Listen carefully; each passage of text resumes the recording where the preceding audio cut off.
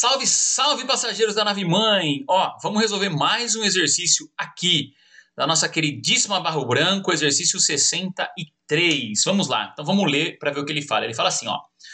Analise as substâncias químicas adicionadas aos tubos A, B e C e suas respectivas fórmulas, legal? Aí ele fala, ó, no tubo A de ensaio, a fórmula da substância química adicionada, que é constituída unicamente por uma ligação iônica é. Beleza.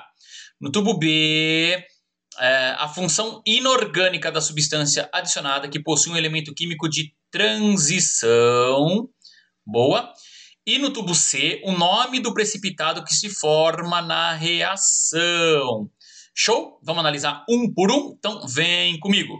Vamos começar com o tubo A. Então vou começar aqui, ó. Tubo A. 10 maravilha, hein? Então, no tubo A, ele quer saber qual substância que é unicamente formada por ligação iônica. Então, eu tenho duas substâncias aqui. Eu tenho AgNO3 e KBr. Pessoal, a única substância das duas que é formada unicamente por ligação iônica é KBr, onde o K é um metal e o Br é um A metal. Então, aqui tem apenas ligação iônica. Aqui eu tenho ligação iônica e ligação covalente. Entre o N e o O eu tenho ligação covalente, perfeito? Então, KBr é a substância formada que tem apenas ligação iônica. Vamos para o tubo B. Tubo B, ele quer saber qual é a função inorgânica da substância adicionada que possui um elemento de transição. Quando você olha aqui na sua substância, você tem aqui ó, o NaOH e o CuSO4. Pessoal, o elemento de transição que ele está falando, que está lá no meio da tabela periódica, é o Cu. Esse é o elemento de transição. E ele está junto do SO4.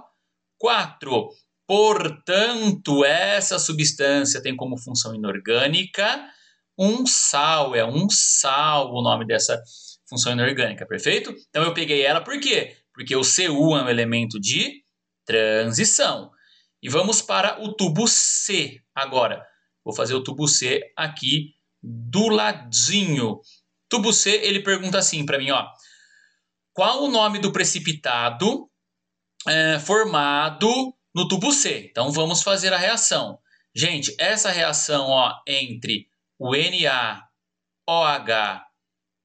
aquoso mais o FeCl3 também aquoso é uma reaçãozinha de dupla troca. Fechou? Qual que é a característica aqui da reação de dupla troca? Você vai juntar aqui, ó, meinho com meinho e pontinha com pontinha. Perfeito? Então, nossas substâncias formadas serão, ó, Na e Cl, o NaCl. E aí eu tenho aqui também, ó, mais o Fe com o meu OH, ele vai formar aqui, ó, o Fe OH. Agora eu vou te mostrar uma paradinha aqui. Vem cá, vou mudar de cor. Tá vendo esse 3 que tá aqui embaixo? Ele sobe aqui e fica mais 3 no ferro. E esse mais 3 que ficaria aqui, ele aparece aqui também embaixo, tá vendo? Então fica FeOH3. Dessas duas substâncias, a substância insolúvel, ou seja, o precipitado, é o FeOH3. Perfeito? O NaCl é o sal de cozinha, você sabe que ele é solúvel em água, ele é aquoso. Agora, qual que é o nome do FeOH3? Ele pode ter alguns nomes aqui. Primeiro nome que ele pode ter, ó, hidróxido, porque ele é uma base. Legal? Então, hidróxido, hidróxido de ferro, porque ele é ferro, né? Porque ele é ferro, o elemento. E 3, por quê? Porque é a carga, é o NOx desse ferro. Legal? Isso é um nome. Ou ele pode ter um outro nome, que é o que aparece para gente aí no nosso exercício.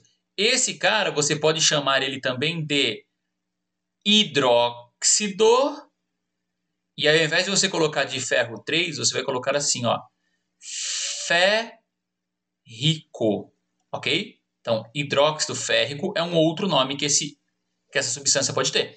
Se você olhar, então, ó, KBr, sal e hidróxido férrico, só pode estar a alternativa C de casa. Show? Se você gostou do vídeo, curta, compartilha, se inscreva no canal. Eu volto daqui a pouco com mais uma resolução do Barro Branco ou outro vestibular. Fui!